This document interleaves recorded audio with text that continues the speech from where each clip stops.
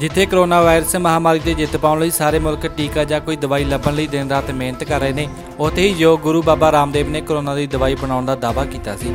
ਹੁਣ ਯੋਗ ਗੁਰੂ ਰਾਮਦੇਵ ਨੂੰ ਵੱਡਾ ਝਟਕਾ ਲੱਗਾ ਹੈ। ਬਾਬਾ ਰਾਮਦੇਵ ਦੇ ਖਿਲਾਫ ਸ਼ੁੱਕਰਵਾਰ ਨੂੰ ਜੈਪੁਰ ਦੇ ਜੋਤੀ ਨਗਰ ਥਾਣੇ ਵਿੱਚ ਸ਼ਿਕਾਇਤ ਦਰਜ ਕਰਵਾਈ ਗਈ ਸੀ।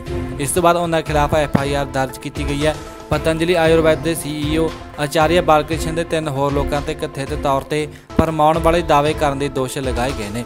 ਕਿ ਹਰਬਲ ਮੈਡੀਸਿਨ ਕੰਪਨੀ ਨੇ ਕੋਵਿਡ-19 ਦਾ ਇਲਾਜ ਲੱਭ ਲਿਆ।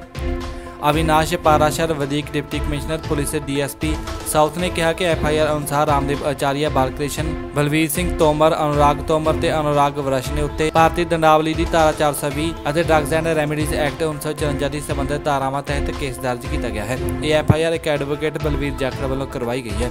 ਦੋ ਮੁਲਜ਼ਮ ਬਲਵੀਰ ਸਿੰਘ ਤੋਮਰ ਅਤੇ ਅਨੁਰਾਗ ਸਿੰਘ ਤੋਮਰ ਜੈਪੁਰ ਸਥਿਤ ਐਨਆਈਐਮਐਸ ਯੂਨੀਵਰਸਿਟੀ ਦੇ ਚੇਅਰਮੈਨ ਤੇ ਡਾਇਰੈਕਟਰ ਨੇ ਪੰਜਵਾਂ ਮੁਲਜ਼ਮ ਵਰਸ਼ ਨੇ ਪਤੰਜਲੀ ਆਯੁਰਵੈਦ ਦਾ ਵਿਗਿਆਨੀ ਹੈ। ਪਤੰਜਲੀ ਆਯੁਰਵੈਦ ਨੇ ਮੰਗਲਵਾਰ ਨੂੰ ਕੋਰੋਨਲ ਟੈਬਲੇਟ ਤੇ ਸਰਸਰੀ ਵਾਟੀ ਦਵਾਈ ਲਾਂਚ ਕੀਤੀ ਅਤੇ ਦਾਅਵਾ ਕੀਤਾ ਕਿ ਉਹ 7 ਦਿਨਾਂ ਦੇ ਅੰਦਰ ਅੰਦਰ ਕੋਵਿਡ-19 ਨੂੰ ਠੀਕ ਕਰ ਸਕਦੇ ਨੇ।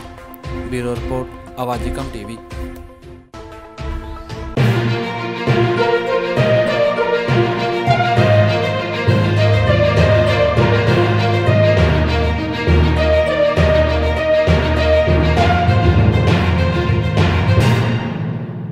Punjab ਦੇ ਮੁੱਖ ਮੰਤਰੀ ਕੈਪਟਨ ਅਮਰਿੰਦਰ ਸਿੰਘ ਨੇ ਆਖਿਆ ਕਿ 23 ਜੂਨ ਤੋਂ ਬਾਅਦ ਸੂਬੇ ਵਿੱਚ ਲਾਕਡਾਊਨ ਦਾ ਫੈਸਲਾ ਹਾਲਾਤ ਤੇ ਨਿਰਭਰ ਹੋਵੇਗਾ ਅਤੇ ਕੋਵਿਡ ਦਾ ਫੈਲਾਅ ਰੋਕਣ ਵਿੱਚ ਜੋ ਵੀ ਕਦਮ ਚੁੱਕਣ ਦੀ ਲੋੜ ਪਈ, ਉਹ ਉਸ ਲਈ ਤਿਆਰ ਰਹਿਣਗੇ।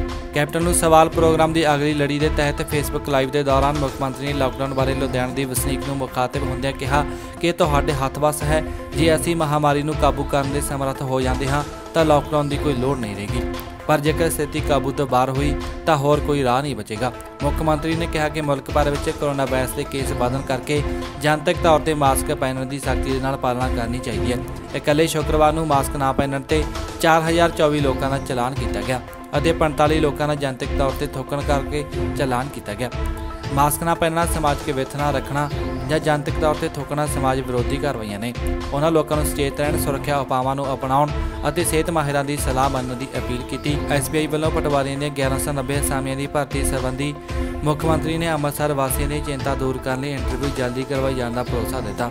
ਮੁੱਖ ਮੰਤਰੀ ਨੇ ਜਨਰਲ ਸ਼ਹਿਰਾਨੀ ਡੀਐਸਪੀਸ ਅਤੇ ਸਬ ਇੰਸਪੈਕਟਰ ਦੀ ਭਰਤੀ ਦੀ ਉੱਚ ਉਮਰ ਹੱਦ 28 ਸਾਲ ਤੋਂ ਵਧਾ ਕੇ 32 ਸਾਲ ਕਰਨ ਦੇ ਮੁੱਦੇ ਨੂੰ ਮੰਤਰੀ ਮੰਡਲ ਕੋਲ ਉਠਾਉਣ ਸੰਬੰਧੀ ਸਹਿਮਤੀ ਦਿੱਤੀ। Bureau report, Awazi Kaum TV.